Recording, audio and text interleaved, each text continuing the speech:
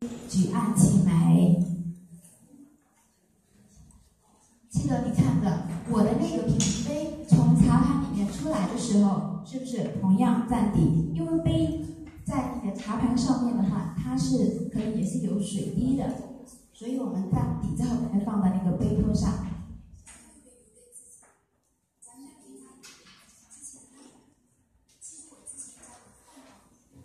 这是我之前告诉大家的个三个护底的一个拼音方法。男士就是手，兰花指是要叫兰花指；女士的话是微微翘起兰花指，这样非常的优雅。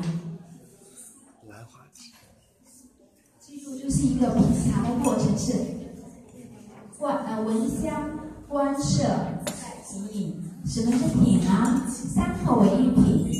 所以咱们在品茶品茶的时候要留意，如果是喝有瘾的。我们这里既然讲到茶叶课，讲到品茶，就是一小杯，咱们分三口喝掉。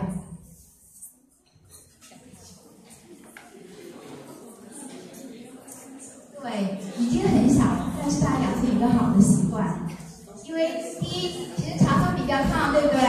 咱们小口来喝，然后又不会烫到。咱们要养成一个好的习惯。我们既然有时候心急吃不了热豆腐，其实心急了你也喝不到好的茶汤的。就是用呃用盖碗来冲泡。那呃这里我就是我刚刚说了，有光茉莉盖这一道工序，我们主要是在泡呃白牡丹和普洱生茶。那像滇红呃这些茶的话，我们在就是根据考试要求是没有光茉莉盖的那一道，就是当你投茶进去了之后，咱们注水，注完水之后。温杯，在后汤的过程中，温杯结聚，然后出汤，然后再进入给老师，懂吗？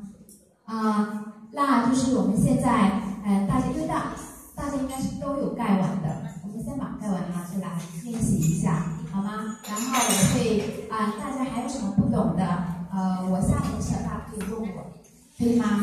啊，记得安静啊，就是泡茶过程当当中，短。啊，是两个非常关键的、非常关键的因素，好吧？